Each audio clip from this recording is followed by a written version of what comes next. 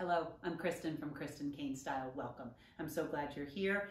Today, as you can see, I'm going to do a little bit of closet editing um, in my own closet. This sort of in-season, mid-season edit is not designed to bring in things for the next season or to get you know rid of things specifically that I can still wear in this season. It is more to get me really clear on why I'm not wearing certain pieces and bring pieces that I do want to be utilizing kind of to the forefront. Things have just gotten a little too messy and I am not able to find things as easily as I'd like to be able to. This one I love. This is Loft Thrifted.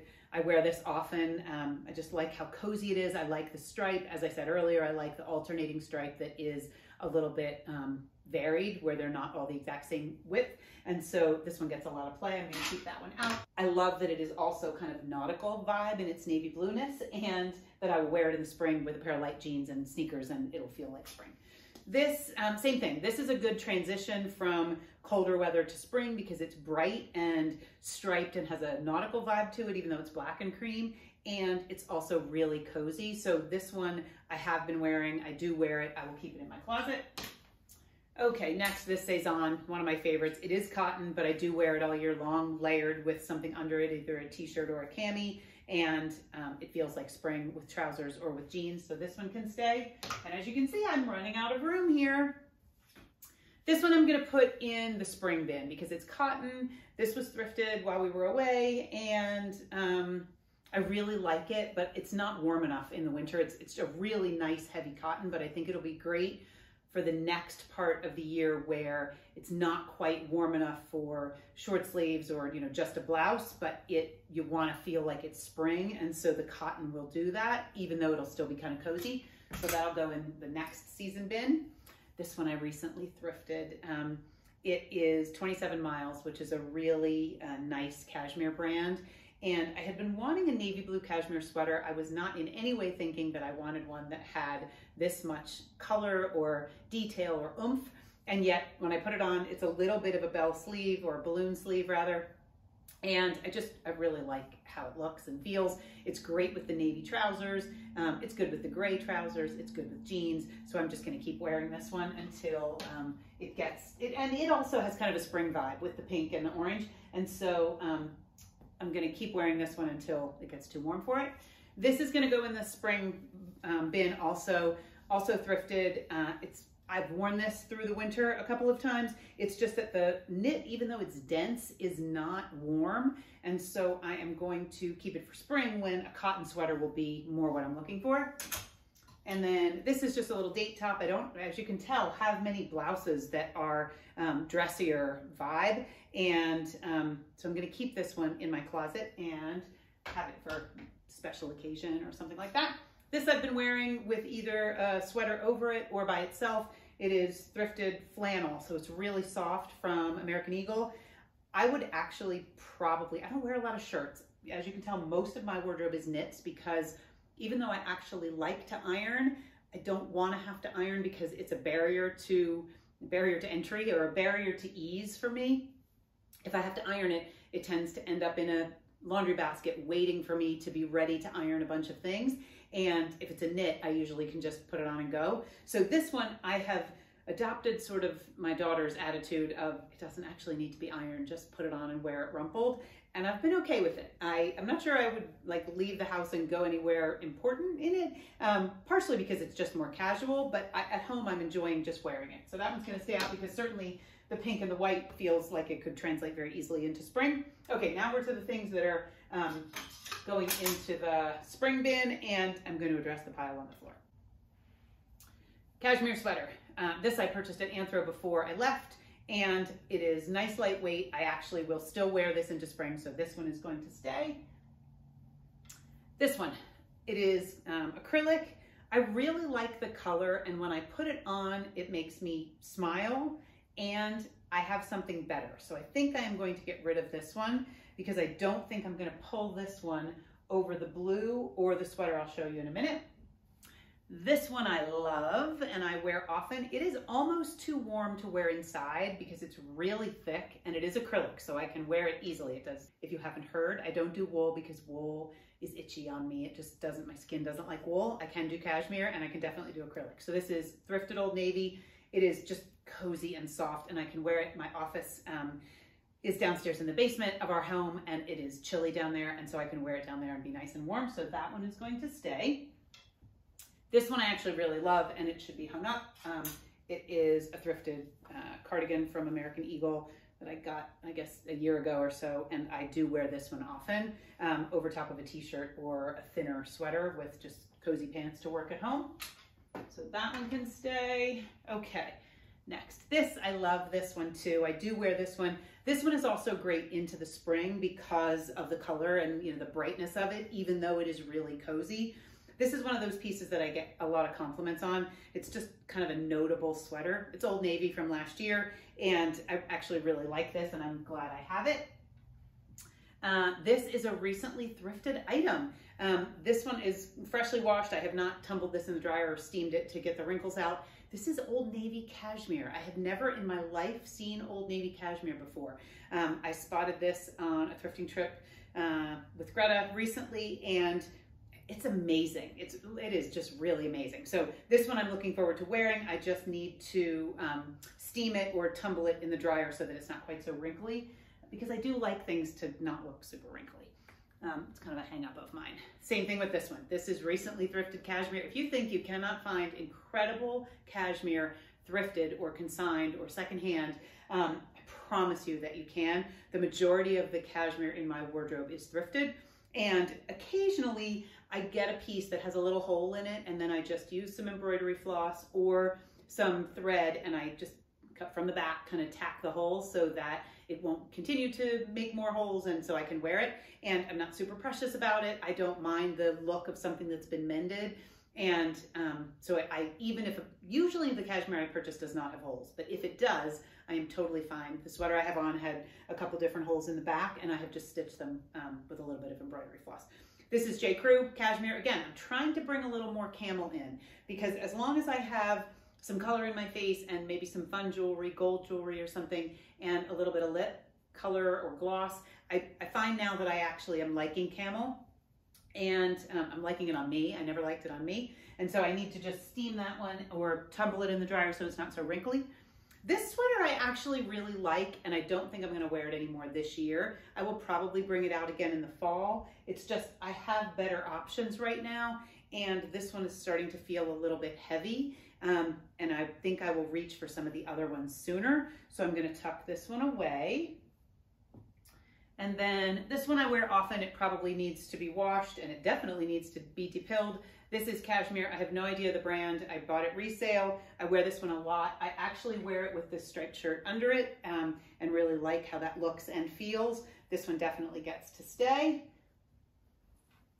Next is this one. Okay, I love this sweater. It's Ann Taylor Loft. I thrifted it last year. I will not wear it until spring because it's too chilly and I could wear it with a long sleeve t-shirt under it. It's just that I have other sweaters that I like that I would probably wear before I would put a long sleeve t-shirt under this one. And I like this one in the spring with just a camisole. So this one I'm just gonna put away until spring. This one I recently thrifted. It is a brand called Cali B. I have had a few women who I've um, either had consultations with or free coaching calls with recently who have asked about it. And I've been looking on Poshmark um, to try to help find it. It's a great sweater. It is acrylic. It is a little bit sheer, so I do wear a camisole under it. I really like it with a t-shirt under it better because it's itchy. It's acrylic, so it by rights shouldn't be itchy. There's no wool in it, but it is a little bit picky on my skin. So I'm going to keep wearing it. I like the shape. I like, you know, I like the vibe of it. Um, but it is not my very favorite sweater because I have to be mindful of where I'm wearing it and what I have under it. It's not itchy, but it's just enough to kind of feel a little picky against my skin. With a long sleeve t-shirt under it, it's great. This is also recently thrifted, little short for me. However, my trousers are all a higher rise and a lot of my denim is a higher rise. So this one is cotton and um, I just, I like a great, you know, fisherman knit kind of classic cable sweater. So this one, I, it's, it's chunky enough that I might very well wear it now. Um, I just haven't, but I think there are days I would grab this one if I were going out before I would grab the one that's a little bit itchy um, or a little picky. So I am gonna put this one in my wardrobe because I'm gonna challenge myself to wear that and to really try it on with all the different rises of pants to make sure that it works with enough pairs of pants that it deserves a spot in my wardrobe. Because what I don't want is too many tops that are um, really contingent on kind of what I'm, you know, that the outfit is hinging on what I'm going to wear on the bottom. If the top is too short for most of my pants, it has to be really amazing in order for me to want to keep it to be able to wear with just one or two things. And then lastly, this one stays because we will still have some cold, snowy days for sure. This is the Eric Bompard Cashmere Turtleneck. Even if I'm not loving turtlenecks, this one is cozy and yummy and I like the um, soft drapiness of the turtleneck. I would wear this one out on a date because it's just got a beautiful um, hand, like the, the softness of it is is incredible and I just love it. So, and I like the length of it. I, I like the density of it. So this one I would wear out. Um, this one, I love this sweater and I don't wear it. Uh, the neck is big. So when I put it on, I'm not sure whether to fold it under, whether to, I mean, I know what to do with it, but I get stuck. I don't love it just up. I don't love it folded over. I don't love it folded inside. Um, I really like it because it's super soft. I think the color is kind of cool, but I have not been wearing this one this year. So I am going to launder it and then I'll, I'll revisit it in the fall. Uh, but I'm thinking that the new Old Navy cashmere one that's kind of a purpley um, periwinkle color, I will wear more than this turtleneck. And then this one is the one that I said, the other V-neck sweater I probably wouldn't wear because I had a new one. This one was also a thrifted cashmere. I picked it out and then I got it for Christmas. Um, I really like this one. This one did have a little hole in it. Um, and so I just stitched it with a little piece of embroidery floss and now it doesn't have a hole in it. And so uh, I thrifted cashmere. And this feels springy. The color is bright and happy. And so I will wear this one either with a camisole under it or even a t-shirt under it or just by itself as we get into the warmer weather. And let's see, let's just tuck this one back here. Obviously this has to all go back in the closet. And then I had a random pile of t-shirts. Oh, there's the light blue one. This is the J. Crew light blue one. This is just a navy J. Crew t-shirt that I thrifted that I wear at home and am comfy in. This is an example of, all right, let me get through these two. This one I do not wear anymore. It's really long. It's old, old navy. It's kind of that microfiber stretchy stuff. I don't love the way this one fits or feels. So that one I'm going to get rid of. This one is Uniqlo. It is Ines um, de la Fressange, like part of her collection. I wear this more in the spring. I don't wear this much in the summer. So I'm gonna put this one away till spring. And then this one is an example of something I love, don't wear very often, and don't part with. It was a souvenir that I purchased at Swildens in Paris, and I love it. And yet I don't wear it very often. Um, I It has a tiny little bleach stain on the side. That's not the reason I don't wear it. I'm willing to wear it with that. I think it's a matter of saving it because I love it so much. I've worn it a lot. I've worn it with blazers to work at Anthro. I've worn it, you know, out. Um, it's like a treasure to me and I don't wear it often because I don't want it to be gone. Uh, but I think I want to put it on my body more often because I think it would be great with some of my sweaters and some of my blazers. And so I'm going to keep it in my closet and I'm, as the weather changes, I'm going to start to kind of bring this one in first as it gets to be spring because I really do like it and I'm just not wearing it very often. These two stay. And then the last thing I've got is some jeans. So let's see. Oh, here's another one of those Luxe Old Navy. Like I keep this t-shirt, but it's not because I love it. It's just because it's functional. And if I were in a closet of a client right now, I would say, why are you keeping it? Like you have other great t-shirts that you could be wearing anytime you would wear this. So why are you keeping it? So I believe that this one is going to go also. So all right, let's talk jeans. These 501s, brand new. I stretched them because the waist was a little bit tight. So my daughter taught me a fabulous trick where when they come out of the washer wet, we have some metal, um, like navy chairs If you know what a Navy chair is, it's like a one piece metal chair that they used on boats, you know, their Navy issue kind of thing. Ours were not from the Navy, we purchased them somewhere, but um, they are the perfect size to stretch my denim over. It doesn't have to be a chair, it can be a tray, it can be a plate, it can be a, you know, anything that is big enough, you know, to kind of stick inside there. It can be a hanger, whatever is the right width to put some tension, kind of like you would do with a shoe stretcher. And so I did that and I let them dry over the chair and they fit great now. So I just need to wear them. I haven't worn them. So they are um, 501s. They are uh, a size that is actually more my size. And so these are going to get a lot of wear. I just haven't done it yet. These I really love, but I am not wearing these. Um, not for any reason other than the fact that I always grab the same couple pairs of Levi's. These are Pilcro from Anthro. I like the shape because they're a little bit of a barrel and they're a little dressier because they're dark. So I'm going to keep them and force myself to wear them.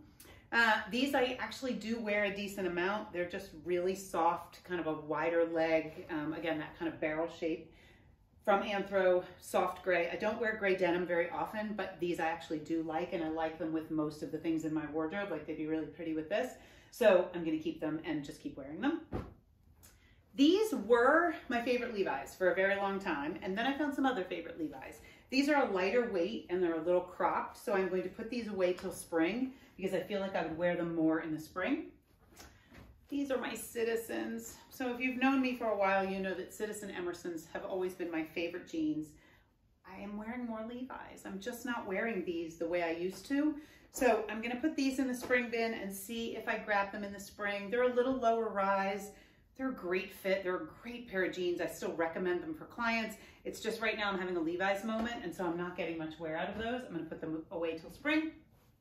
These are the 501s that are really oversized. I had to add a second button so that they would um, be a little more snug. I still need to cinch them with a belt, but I actually really love them. I wore them to a baby shower with a cute little pair of heeled booties and um, a blazer recently and felt good in that. So I'm gonna keep those and just keep wearing them. And then let's see, we've got a couple more pairs of Levi's in here. So I'm not even gonna talk through these because I need to try them on and figure out what I'm gonna do with those. I will do that and uh, make that decision off camera. And then these are the same as the gray ones. Uh, they are just obviously a minty kind of green. I really like these. I don't think I'll wear these again until spring. I love the color in the spring and they're great with, you know, it's great with creams probably be pretty with the pink and white. Um, I just have not been wearing them through the winter. They just feel a little pale, this celery color. So I'm gonna put those away. And I have other spring things, proper spring things packed away downstairs that I will go through once the season changes. I also still had some, well this I thrifted recently. It's just a long sleeve Life is Good t-shirt. This I like, great white t-shirt, easy to wear under things. So this one will stay. Um, and then my Breakfast Club t-shirt and a little short sleeve t-shirt, Sierra Nevada and I Love New York, that I think was Henry's. He handed it off to me. These are all short sleeves. So these are gonna go in the spring bin and I will revisit those when hopefully spring comes early and I can start wearing those. But I don't want it to come too early because as you can see, I have a lot of stuff to wear. Um, regarding these items, I'm going to keep this out because there's a possibility that I will be going on a date next weekend. And this might be with that um, silk cami. This might actually be what I would wear because it is really soft and I love it. So I think I'm going to keep this out and see if I can wear it sometime over the next you know week or so. These pants I'm going to try on. So I'm going to put those with the jeans to try on. There they are. And these two turtlenecks, I'm to try these on too. So I'm gonna do a little try on. Um, I won't bore you with that. I'm gonna do a little try on of those pieces and then I will decide if they stay. And if they're going to stay, I will move them to the front of the pile, front of the closet so that I can be sure to wear them. Um, I feel better about this because I did move it. I knew there were some things I wasn't wearing, but I wasn't really sure why. As you can tell, I am pretty happy in a cashmere sweater or an acrylic sweater that just is really soft and easy and solid and can be worn on its own with a couple of necklaces um, and maybe a scarf if it's chilly and I want to add some interest at my neck um, and maybe a t-shirt or a uh, camisole underneath it for a little bit of layering but it, it's pretty basic and it's pretty classic and it's not very colorful obviously. I mean there, there are some blues in there and a little green and a little pink but for the most part you can see that I have defined my style and a lot of repeated shapes and repeated elements and I'm good with that. That is that's my happy place. I want things that I can literally just pull two or three pieces, put them on, and they always are going to go together. And uh, yeah, so I'm excited to get this back in my closet and just kind of arrange it so that I can see everything and get into some of these pieces that I haven't been wearing before the weather changes and it's time for spring clothes. If you would like my help with any of this, this is what I do one-on-one -on -one with clients. I do it online where you would set up your computer and we would talk through things just like we were in person. Uh, I have actually had clients say to me that they um, thought before our time online, oh, I wonder if Kristen likes coffee or tea, or I wonder if she has any food allergies thinking that I would actually be coming to their home because we had worked together prior and it feels like we knew each other and like we were sitting together when really we were doing it all on Zoom. So I do online and in person. If you're in the Denver area, I do in-person um, style therapy. Either way is the same amount of effective. I have had clients who have even done both in person and online and have realized that online and in person is exactly the same experience. Um, and now style therapy includes four uh, one hour coaching sessions at the end after we do the style therapy work, which is about three or four hours. After we do that work, there are four weekly one hour style coaching sessions where we meet back on Zoom and we troubleshoot whatever is coming up, whatever is happening that is still making you feel kind of stuck because invariably we do the work and we make the outfits and then you're kind of slipping back into the old habits and the old behaviors. I mean, you can see that this is what I do. I have done this for over 20 years and I still was slipping back into some of the old behaviors in my own closet. It's normal human nature that we revert back to what's easiest and most comfortable. And so uh, the four week sessions, the four um, sessions that we do over the course of a, you know, about a month or five weeks after, um, really allow us to get into what are the thoughts that are coming up? What are the things you still believe about style or about getting dressed that are holding you back, even though we have edited and we have assessed and we have come up with a shopping list and you've maybe purchased those pieces? We can also use that time to figure out what those new pieces can be worn with and how to create outfits with the pieces that you purchased to kind of fill in the gaps. So those four weeks are just to kind of reinforce what you learn in style therapy and for you to come with any questions and any concerns about what's still feeling um, troublesome or difficult with regards to getting dressed because my goal is to truly have you be able to do this for yourself after working with me that you can become your own stylist and you can begin to see, wow, okay, why am I not wearing this piece? What would need to happen in order for it to come out of my closet? Do I want to do that or am I ready to just let it go? And each time we do that, we inform the next thing we purchase. We become more intelligent shoppers because we have more data to really tell us I know I don't actually wear turtlenecks, so I can stop buying them. Even though I love them on other women, I don't have to own any more turtlenecks because I'm not actually wearing them. I don't actually love them on me, just as an example, since we saw a few turtlenecks go. Um, okay, that's all I got for today. Okay, here we go. Finished product. Uh, everything is folded and put back together nice and neatly. I feel really good about the pieces that I kept and I am excited to wear them and everything is refolded and feels pretty good. Much better. Thanks for coming along with me on this journey to get my closet we'll together. back next Friday with another video. Every Tuesday on Instagram, I do a live Q&A, a lifestyle Q&A on Tuesdays at noon Mountain Time. I'd love to have you pop over there and join me. If you have any questions you'd like addressed either here or on the Q&A, just drop them down below. And uh, I really appreciate your support and your being here. And I hope that it was helpful to really see you know, what happens in my own closet and that I too get stuck with kind of a mess and things feeling overwhelming and pieces I'm not wearing. And I'm looking forward to getting these put away and to work my way through and start wearing them. I hope you have a great day. Thanks for being here.